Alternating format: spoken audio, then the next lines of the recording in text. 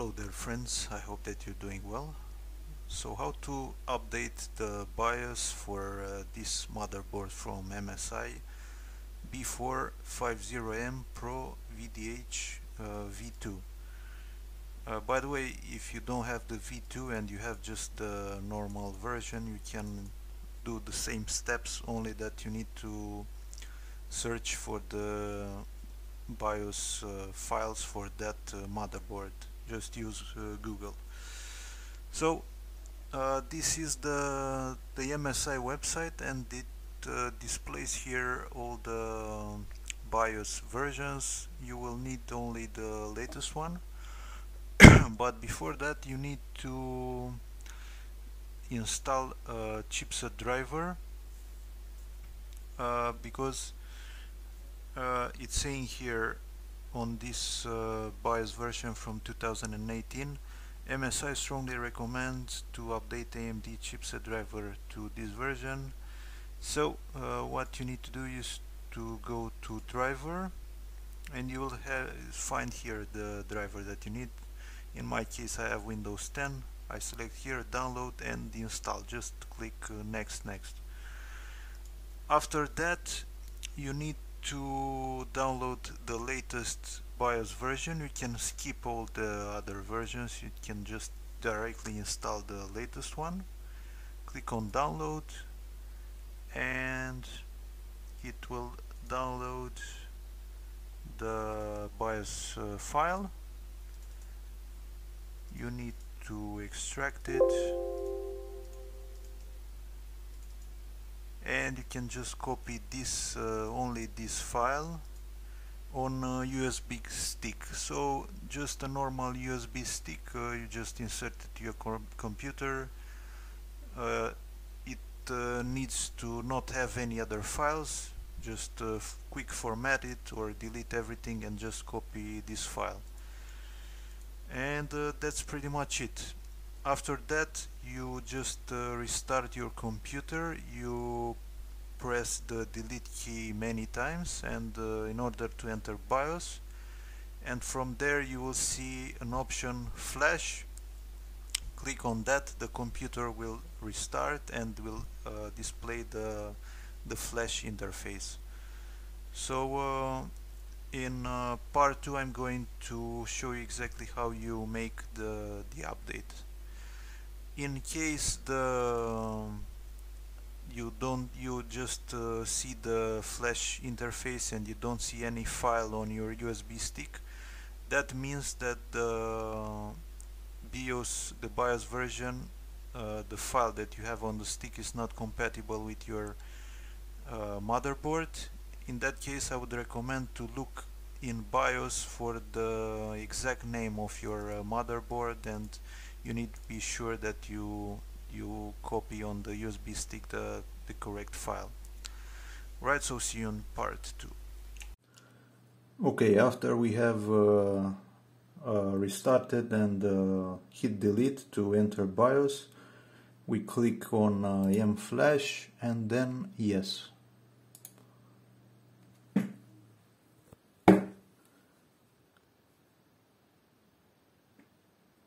Now the computer will uh, restart and uh, enter the flash mode. Okay, so once the the BIOS restarts, it will uh, start M flash and you will see here your USB stick and this is the the BIOS update file. Just click on it and click yes and now it will say BIOS is updating and it will uh, the percentage will increase to 4 uh, it's really important not to turn off the PC during the update because uh, this will be really bad. It will uh, mess up the the motherboard. Uh, one thing to be uh, sure you need to be sure is to check from uh, the initial BIOS the name of the of the motherboard because in some cases some motherboards have like uh, V1, V2 and uh, when you bought the the motherboard the motherboard maybe you are not aware which version you bought and uh, if you download the the wrong BIOS from uh, in this case the MSI website uh, it could be possible that when you copy the the file on the USB USB stick and from uh, the the flash interface it will not uh, display the file so you won't be able to make the update. So you just need to be sure that uh, you know 100% the name of your uh, motherboard so you download the the correct uh, uh, BIOS file right 30% so it seems that uh, the update takes around 5 to 6 minutes. Uh, this is the latest uh, BIOS for uh, this uh, motherboard and it will uh, make the motherboard compatible with the latest Ryzen processors. In my case I plan to to upgrade to a Ryzen uh, 5 5500 Currently I'm using a Ryzen 3 1200 which is the the cheapest one the the the first Ryzen uh, processor. It's also a few generations old. So uh, after the the update I plan to install the new processor and hopefully it will work just fine. So after the update reaches 100% it should do a restart and that's pretty much it. You're uh, safe to to install the, the processor.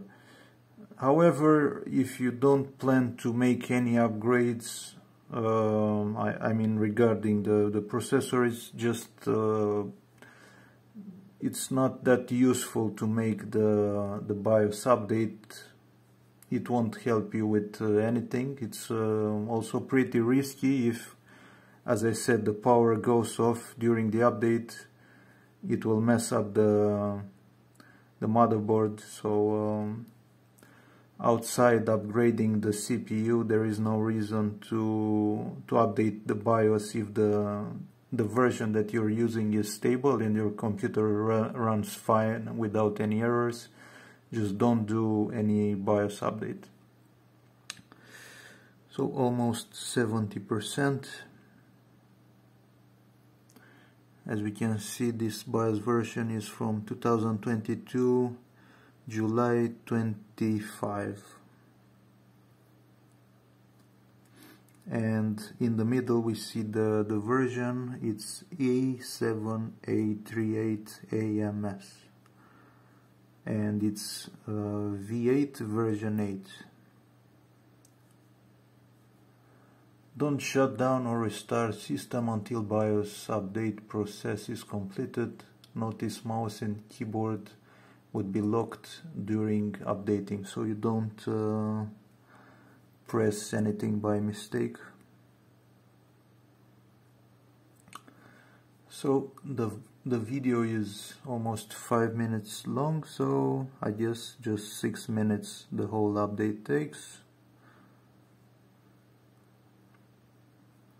Let's see what happens after the restart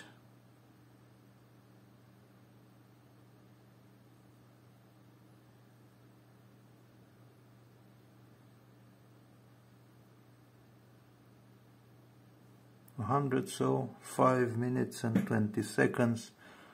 Now the computer restarts. It shut down uh, completely and now it should uh, start back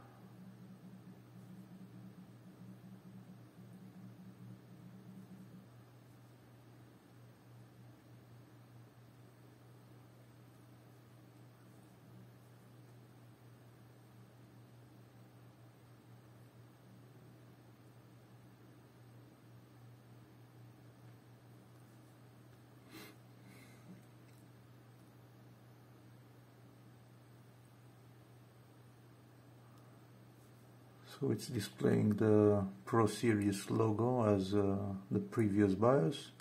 Let's see if uh, it will enter BIOS or directly start to Windows. So it seems that it starts to Windows right away. And uh, this is pretty much it uh, this is the whole update. Just need to be careful to follow the exact steps